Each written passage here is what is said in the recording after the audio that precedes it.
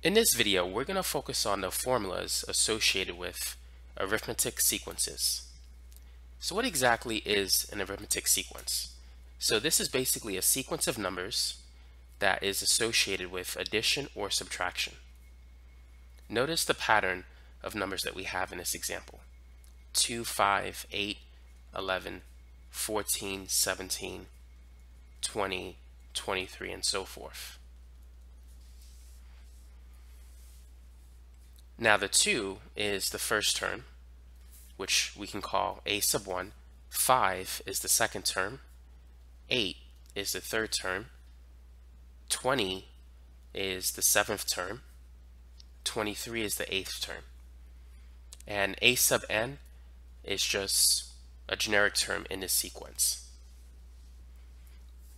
Now notice that we have a common difference between the terms of the sequence. Notice that to get the next term, you need to add 3.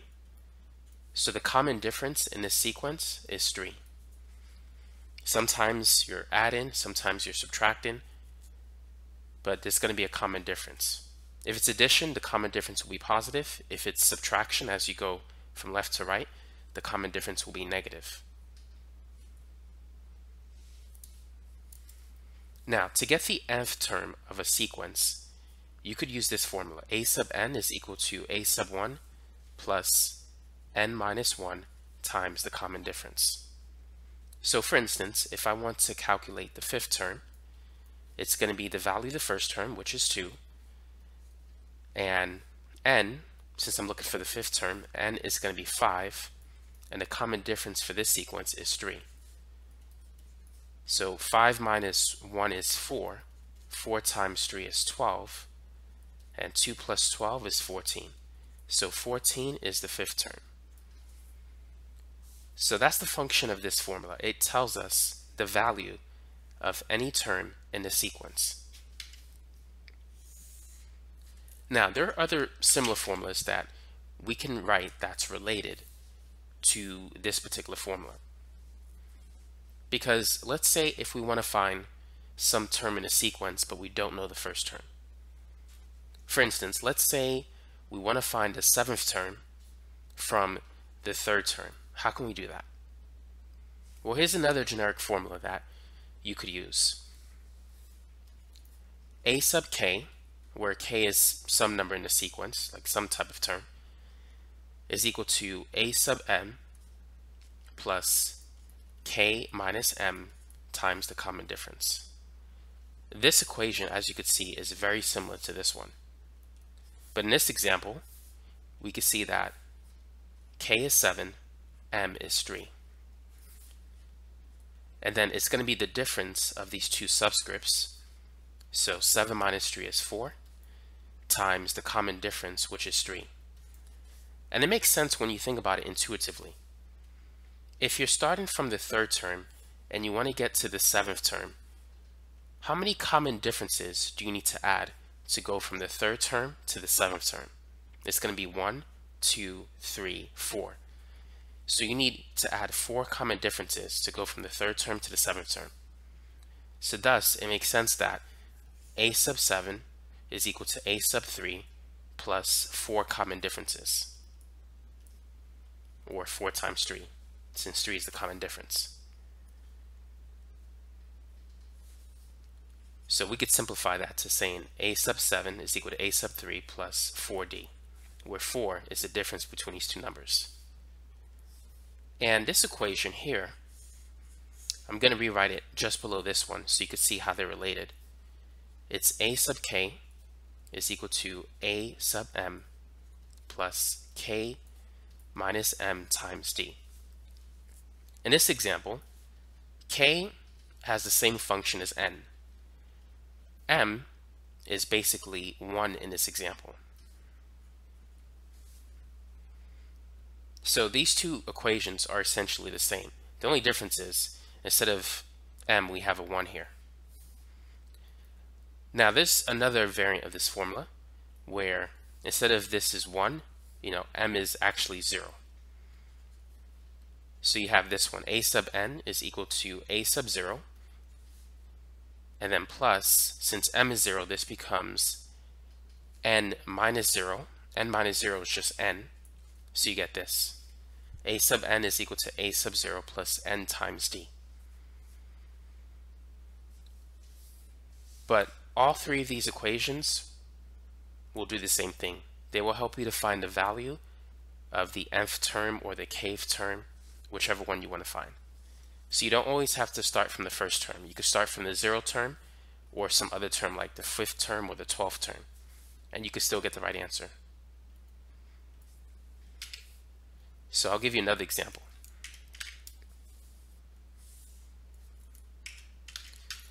Let's say if I wanted to find the ninth term from the second term. Let's say I don't know the value of the first term. It's going to be a sub 9 is equal to a sub 2 plus the difference of these two values, 9 minus 2, which is 7, times the common difference. So a sub 9 is equal to a sub 2 plus 7d, because we need to add 7 common differences to go from the second term to the ninth term. So the second term is 5, as we can see here and then plus 7 times the common difference of 3. So that's 21 plus 5, which is 26. So if we add 3 to 23, we'll get the ninth term, which is 26. So that's how that particular equation works.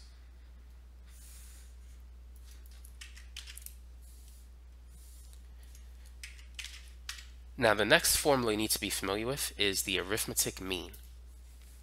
The arithmetic mean is basically the average of two numbers. But when dealing with an arithmetic sequence, here's how it works. If you were to take, let's say, the average of the first term and the fifth term, you're going to get the term in the middle. The average of 1 and 5, 1 plus 5 is 6, divided by 2 is 3. So the average of the first term and the fifth term will give you the middle term, which is 3. So if we were to average 2 and 14, we're going to get the third term, which is 8. So 2 plus 14 divided by 2. 2 plus 14 is 16. 16 divided by 2 is equal to 8, which is the value of the third term.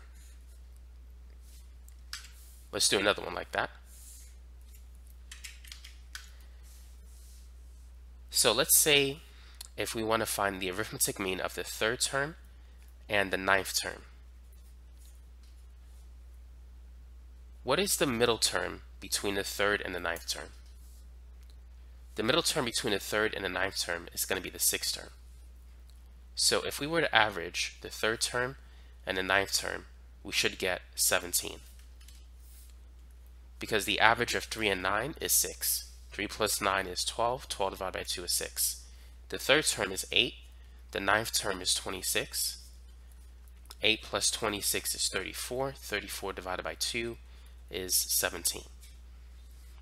So that's how the arithmetic mean formula works when dealing with an arithmetic sequence. Now here's a question for you. What is the difference between S sub 6 and A sub 6? A sub 6 represents the value of the sixth term, whereas S sub 6 represents the partial sum of the first six terms. So S sub 6 is A sub 1 plus A sub 2 plus A sub 3 all the way to A sub 6. So it's going to be 2 plus 5 plus 8 plus 11 plus 14 plus 17. So that's the value of S sub 6. A sub 6 is simply 17. It's the value of the sixth term. So this is what is known as a partial sum. By the way, whenever you have a pattern of numbers like this separated by a comma sign, it's a sequence. When you have a pattern of numbers separated by a plus sign, or minus sign, it could be addition or subtraction, what you have is a series. But typically it's going to be a plus sign. It's usually plus, but if you're adding negative numbers, then it's the equivalent of subtraction. So whether it's a plus or minus, you still have a series. Now the formula that we need to calculate the partial sum of a series is this. S sub n is equal to a sub 1 plus a sub n divided by 2 times n. So we're going to calculate this both ways. First, let's use our calculator to get the sum of those numbers. So 2 plus 5 plus 8 plus 11 plus 14 plus 17, that's 57. Now using this formula, I'm just going to rewrite it here. S sub 6 is going to be equal to a sub 1, the first term, plus the last term, which is a sub 6. So these values are both n. So if you see a 6 here, there should be a 6 there. And then we're going to divide by 2, which means we're taking the average of the first and last terms, and then we're going to multiply by n, the number of terms. So that's how you can calculate the partial sum of a series. You take the first term and the last term, you average those two numbers, and then you multiply by the number of terms in that series, and that'll give you the partial sum.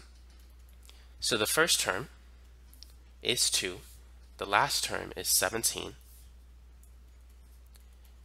So the average of 2 and 17, that's 19 divided by 2, so the average is 9.5. So we take the average of the first and last terms, multiply by the number of terms. So 9.5 times 6, that will give us 57. So that's how you can calculate the partial sum of a series. So here's a practice problem that you could try. If you were to see something that looks like this, what would you do?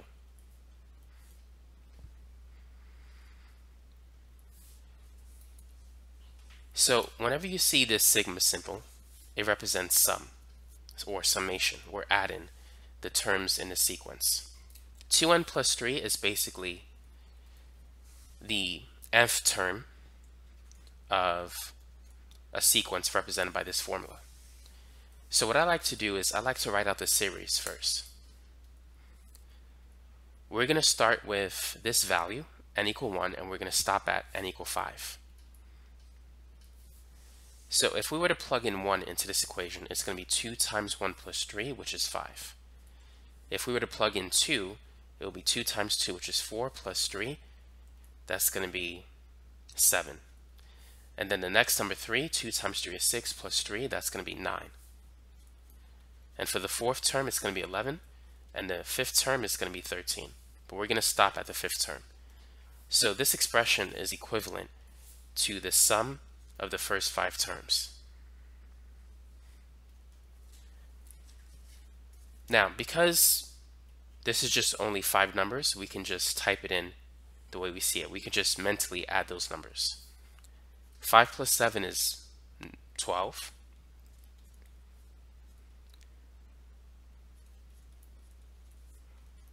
9 plus 11 is 20. And 12 plus 20 is 32. Plus 13, that's 45. So that's our answer. Now we can also use the other formula. We can take the average of the first and the last terms, so 5 plus 13 divided by 2, and then multiply that average by the number of terms that we have in this series which is 5 terms. So what's the average of 5 and 13? 5 plus 13 is 18 divided by 2 is 9. So the average of these two numbers, the first and last term, is 9. And if we take that average, multiply by 5, it will give us the sum of those five numbers, which is 45. So those are the most common formulas you're going to encounter when dealing with arithmetic sequences. By the way, for those of you who want more example problems, feel free to check out the links in the description section below. I'm going to be posting some videos there with some extra content that you can put these formulas into practice for those of you who are interested in doing that. So feel free to take a look at that when you get a chance.